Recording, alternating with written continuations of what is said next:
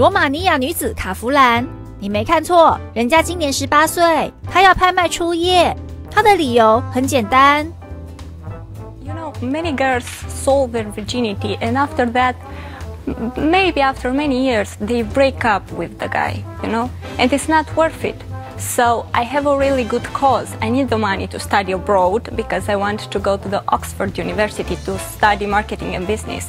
Plus, I live in a very poor country and I need to help my parents, so I need to buy them a home. 他和应招业者合作进行这次拍卖，最后有一名香港商人以约新台币七千五百万元得标。卡夫兰说已经和对方通过电话，直呼人很好。他也认为。think that if you are going to pay that price, you will be a good man and not having problems. 应招业者说，不少少女看到卡弗兰的案例后也想跟进，据说已经有三百女孩排队报名。司一娟综合外电报道。